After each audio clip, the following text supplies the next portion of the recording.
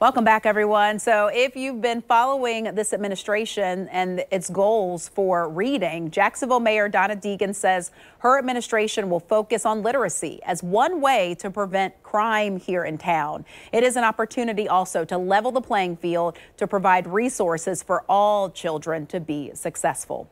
Right now, 55% of third graders in Duval County are not reading on grade level. Read USA has been working for years in the community to change that and has had significant success. So Dr. Rob Kelly, the CEO of Read USA, joins us today. So thank you for joining us. Thank you, Melanie. You know, Mayor Deegan has said again that literacy improves crime. What is the connection there? So we know that when we have a more literate society, when people can read on grade level and read proficiently, that they have a, a smaller chance or a lesser chance of being incarcerated. Mm -hmm. They have a higher chance of actually having a, a successful job.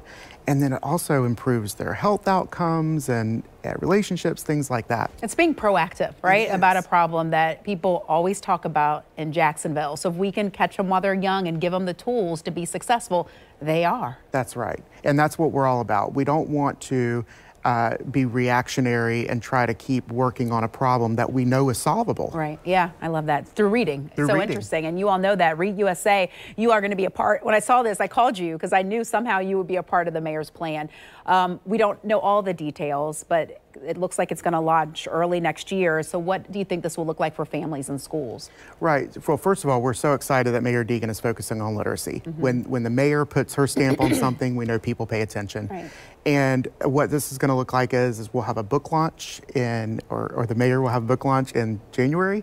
We'll be a part of that. And then she is uh, pulling all the partners together who are focusing on education in the city to say, what are you doing that's working and how can we help you do more? Yeah, and one thing that you all see that's working is your peer to peer tutoring. You've seen some big gains when it comes to kids who are reading better.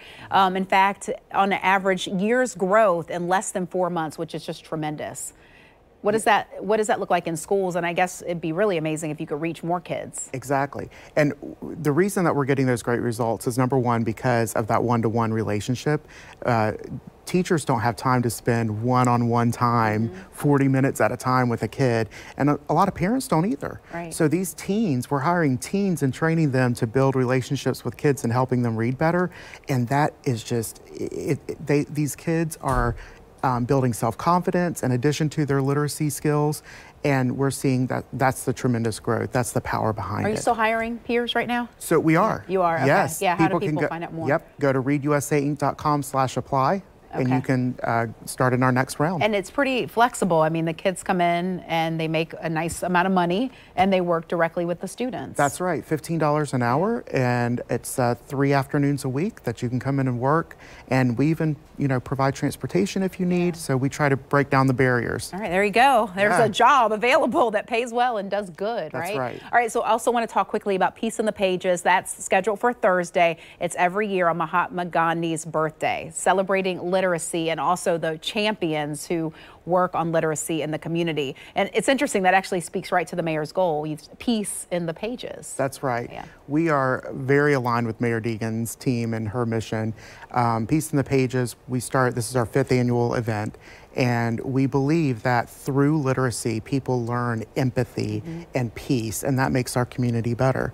And then we're excited for the award winners this year. We have people like Kevin Gay mm -hmm. and Betty Burney, yeah. uh, oh, Nicole man. Thomas. It, it's oh, a great yeah. Lineup. Oh, so, oh, those are great folks. Yeah, yeah, yeah. I didn't know who the winners are. I'm actually your MC. That's did right. you know that? I, I did know that. know we did. better get you the script. I know. Oh, I'm excited. Um, it's so good to hear what people are doing and that there is a goal to improve reading because, like you said, it can be life changing. And, right. and we talk often about how some kids just don't even get a book in their hand until they start school. That's right. And we know that homes that have books in them, that those kids start school uh, with more literacy progress than other kids. And who doesn't, you know, who doesn't want to have books in their yeah, kids' hands? Everybody does. So we try to, we're, we're working harder to get more and more books out there. All right. Thank you, Dr. Kelly. Yeah, Great to see you, you as Melanie. always. And we will be right back after the break.